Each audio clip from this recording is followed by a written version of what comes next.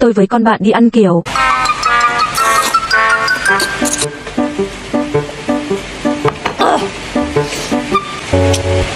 bình thường thôi, bình thường thôi, bình thường thôi, bình thường thôi mà nghe sao